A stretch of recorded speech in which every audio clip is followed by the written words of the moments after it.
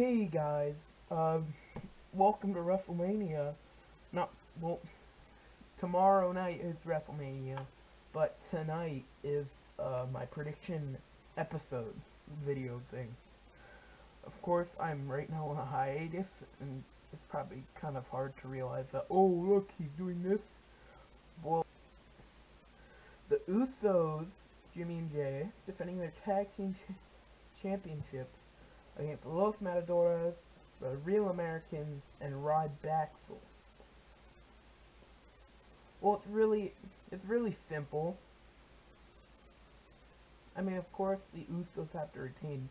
Los Matadores is a young team, and plus they're not that good. They're not championship material. Uh, Real Americans, they're doomed to break up very soon. Uh, RybAxel, yeah, same, same as Los Matadores. They're a they're they're better single competitors than tag team competitors, but they're still really good competitors, and that's all I can say. It's it's a good pre-show match, and I heard about the like four hours. This is gonna be four hours, but the pre-show is two, and one hour is gonna be on the internet, and the other one's gonna be on the network. And I think that's bullcrap. One thing WWE, because the second hour might be like half the match, and we want to know who won. I'll be lucky enough if I can get it on the internet, and it'll be on the internet on the pre-show.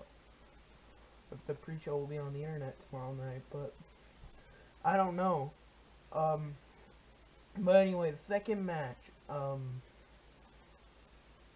I'm just gonna do it the order I see right now. Um, I'm on Wikipedia. So, next order of Randy Orton defending the WWE World Heavyweight Championship against Batista and to, te and to be determined participant. Be determined participant. I say because I'm not gonna go into the other match just because I'm just gonna say like if Daniel Bryan were to win I would pick Daniel Bryan. If Triple H were to win, I'd pick uh I'd pick uh Randy Orton to retain. Because they're they have to push this has to be a great night or else they're gonna be out of business. Cause it's the 30th anniversary and they have a lot of great matches. But uh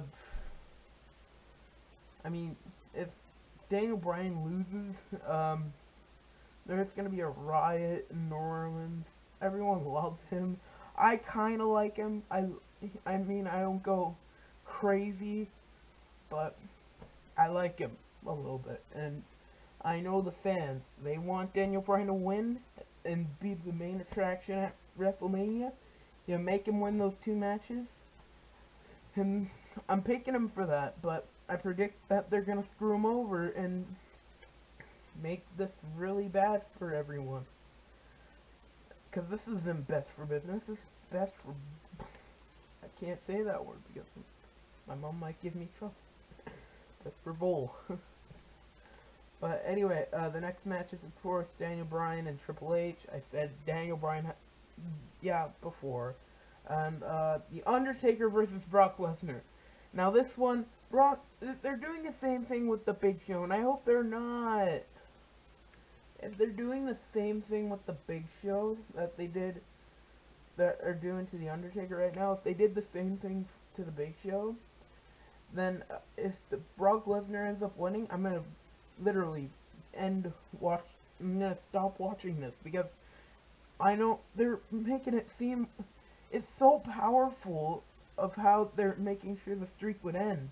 I mean, I I watched uh, WrestleMania 28 live when they did End of an Era, and it was extreme. And that's the time I thought the streak would end. WrestleMania 29, I didn't get that much of a. Well, I didn't. I don't even know if I watched it, but um, this one is WrestleMania 30, and these and the it's just scary because I don't want the streak to end. I mean, the streak is kind of like the only thing that holds us company now. Like, if they if they're gonna end the streak and screw Daniel Bryan, then the WWE might as well freaking end the whole thing. It's just stupid. If they're, but it looks like Brock Lesnar might end the streak, and I don't want that to happen. And I hope I'm hoping I don't jinx myself. And I hope this is the main event, by the way, because then it would give me butterflies. It's been giving me butterflies all week. But anyway, next match, uh, John Cena versus Bray Wyatt. Now, I, I've been paying attention to this match too, and I've been deciding that uh, my Steven character on EWD would face Bray Wyatt, since Bray Wyatt debuted at Over the Limit. I have a clip from that, but I won't be able to get it because it's on my old computer. Uh, but it's very good. It's been very good, and I was expecting this match for a long time, ever since like Bray de whoops, ever since uh, Bray debuted a while back. Um, he was talking about the superheroes and tucking your kid's bed. Like it was a while back, probably in like uh, October or November before uh, before Daniel Bryan and Punk.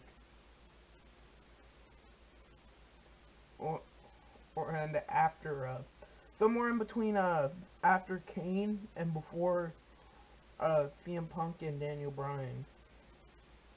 Somewhere in between there uh he was talking about a John Cena-ish type of people like the superheroes and not being afraid and stuff like that so I was expecting this match to happen and I'm very happy about it because it's very good but and this is one match I can't pick about. There's, every time I make predictions, there's always at least one match I can't make a prediction about, and this would be one of them. But I'm just gonna have to go for um, John Cena because I love him. He he's the one I go crazy for. He's he is passionate, and these two guys in the match, I love them to death. They're both really good competitors. John Cena my favorite guy, Bray Wyatt, extremely great competitor. Because at the Royal Rumble, I saw him and he was very, very great at wrestling. But anyway, next match, uh, we got The Shield. Dean Ambrose, Seth Rollins, and Roman Reigns versus Kane and the New Age Fellows. Oh, whoops, forgot it. New Age Outlaws. Sorry about that. Uh, Shield, no doubt about it. There's e it's either the shield's gonna break up that night or there's just it's just doomed to happen. Shield have to win again. Because and plus all these rivalries at least have one match, like have a big thing riding up on it, except the Andre my next two matches and the pre-show. Everything else has a good back line storyline thing.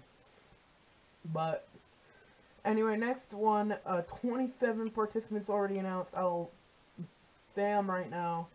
Uh, Alberto Rio, Big E Langston. I, I don't care about that. Uh, Big Show, Brad Maddox, Brodus Clay, Christian, Cody Rhodes, Damien Sandow, Darren Young, Dolph Ziggler, Fandango, Drew McIntyre, Goldust, The Great Khali, Heath Slater, Jinder Mahal, Justin Gabriel, Kofi Kingston, Mark Henry, The Miz, Rey Mysterio, Sheamus, R-Truth, Santino Marella, Sin Cara, Titus O'Neil, and Zack Ryder, and three more to be announced this Sunday.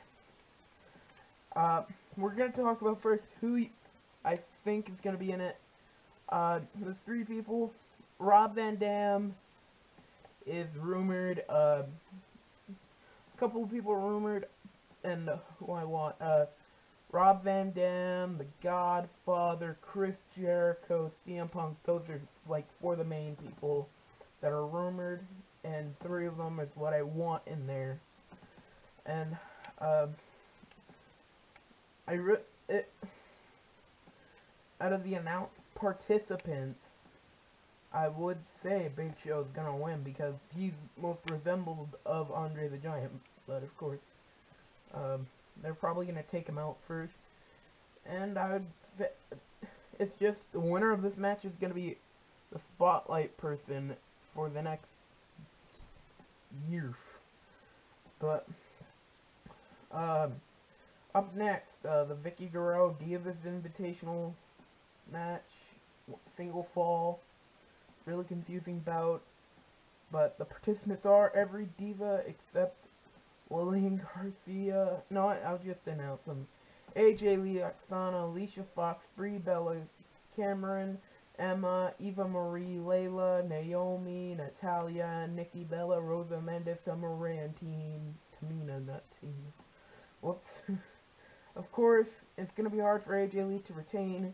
I think it's either going to be Naomi, AJ, or one of the Bellas. No one else, because I don't think uh, the other divas are good enough for it. Uh, oh, or Natalya. Natalya's another chance. And Layla's just... Layla's getting taxed by the company.